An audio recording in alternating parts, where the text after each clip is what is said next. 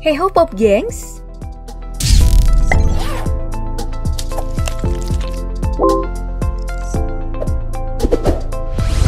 Bagi kita masyarakat modern, listrik merupakan satu hal yang sangat dibutuhkan.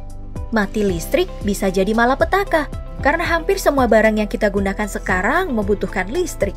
Makanya, karena ketergantungan manusia dengan listrik, zaman sekarang udah ada tuh beragam pembangkit listrik yang digunakan untuk memenuhi kebutuhan semua orang. Mulai dari pembangkit listrik tenaga air, tenaga uap, hingga tenaga bayu atau udara. Nah, hari ini daftar populer mau ngajakin kamu jalan-jalan nih di segmen DP Proses, di mana kita akan melihat cara kerja dari berbagai pembangkit listrik yang kita sebutkan tadi.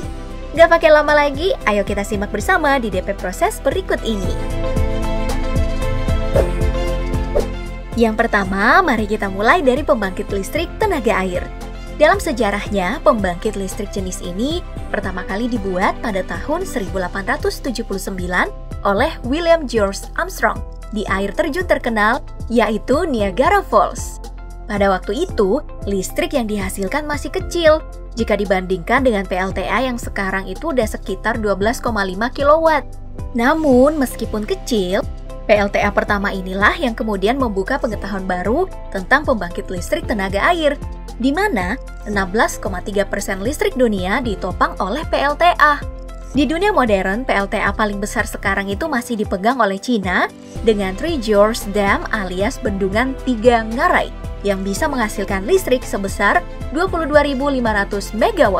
Lalu untuk Indonesia sendiri, PLTA terbesar sekarang ada di Kabupaten Bulungan, Kalimantan Utara, yaitu PLTA Sungai Kayan yang memiliki kapasitas 9.000 MW. PLTA mengandalkan energi potensial dan energi kinetik dari air untuk menghasilkan listrik. Ada dua benda penting dalam PLTA, yaitu turbin dan generator.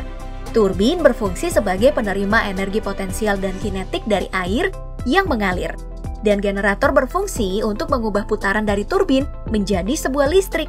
Makin cepat turbin berputar, maka semakin banyak pula listrik yang dihasilkan.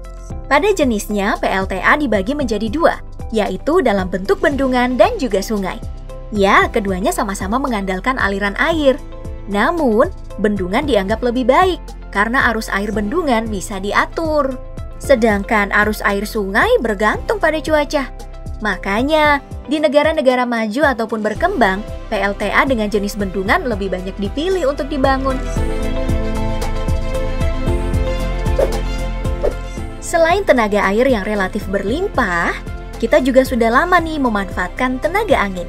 Fasilitas ini dinamakan pembangkit listrik tenaga bayu. Bayu berasal dari bahasa Sanskerta yang berarti angin. Dalam konteks kedekatan manusia dengan angin, Hubungan keduanya memang sudah mesra dari masa lampau. Angin adalah salah satu alasan mengapa manusia bisa mengarungi lautan dengan kapal layar. Nah, masuk membicarakan tentang pembangkit listrik tenaga bayu, hal ini memang tidak tergolong baru untuk manusia modern, karena sudah dibuat pada abad ke-19 kemarin oleh pria asal Denmark, Paul Lacour, dengan bentuk yang cukup sederhana. Ya meskipun sederhana, tapi kincir angin ini yang menjadi prototipe yang terus dikembangkan hingga hari ini. Dan sampai di banyak negara, termasuk Indonesia. Di mana pada tahun 2018 kemarin, Presiden Jokowi meresmikan PLTB yang ada di Sidrap, Sulawesi Selatan. PLTB ini nih yang menjadi PLTB terbesar di Indonesia dengan kemampuan menghasilkan listrik hingga 75 MW. Untuk cara kerjanya sendiri, PLTB ini mengandalkan kincir angin yang kita sebut dengan nama turbin. Nah, jika setiap turbin ini ditiup oleh angin yang melewatinya, maka turbin akan terus berputar dan memberikan energi pada generator yang berada di dalam badan tubuh angin. Hmm, jika ada yang bertanya, bagaimana angin menggerakkan turbin raksasa? Maka jawabannya ada pada bentuk turbin yang sudah dibuat khusus dari pangkalnya hingga ujung turbin yang memungkinkan angin kecil bisa memutar turbin berukuran raksasa ini. Oh iya, selain turbin horizontal yang sering kita lihat, ada juga nih turbin vertikal yang juga dipakai di beberapa negara loh.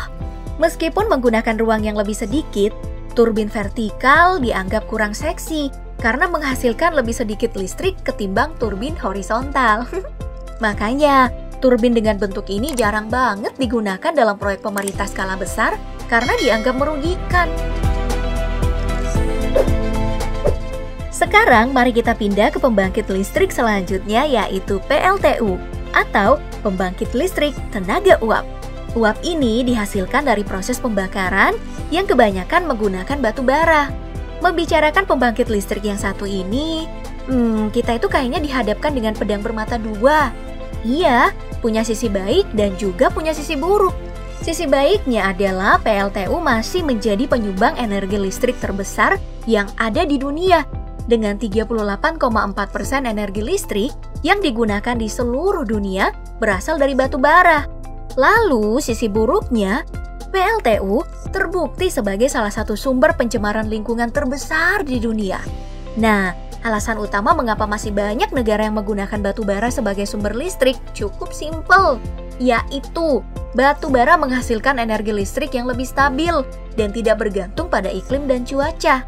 Selama sumber dayanya masih ada, ya tentu si batu bara ini yang masih bisa digunakan. Pada cara kerjanya, pertama-tama batu bara dibakar dalam sebuah mesin raksasa. Dalam mesin ini, batu bara akan menjadi bahan bakar untuk menciptakan uap pada suhu yang sangat panas, sekitar 500 derajat Celcius. Uap panas inilah yang kemudian berpindah tempat menuju turbin pembangkit listrik. Di sini, tenaga tinggi dan suhu panas yang berasal dari uap akan membuat turbin terus berputar. Dari tiap putaran yang dihasilkan, maka generator yang tersambung pada turbin akan menghasilkan listrik. Hal inilah yang terus berulang hingga nantinya mungkin saja cadangan batu bara dunia habis dan gak ada lagi yang bisa menggunakan pembangkit tenaga listrik tenaga uap. Untuk Indonesia sendiri, ketergantungan negara kita dengan batu bara itu cukup besar loh. Dari data yang didapatkan, sekitar 50% dari listrik Indonesia masih bergantung pada PLTU. Ya, makanya dalam beberapa tahun terakhir, pemerintah mulai melakukan peningkatan pembangkit listrik untuk negeri terbarukan, seperti yang dilakukan di negara maju lainnya. Hmm, seperti yang pernah kita bahas tuh dalam video daftar populer yang membahas tentang mega proyek pembangkit listrik. Nah, itu tadi DP proses kali ini yang membahas tentang proses atau cara kerja pembangkit listrik tenaga air, bayu, dan uap. Menurut kamu, Mana nih jenis pembangkit listrik yang harus ditingkatkan oleh Indonesia? Sebutkan jawaban kamu di kolom komentar ya.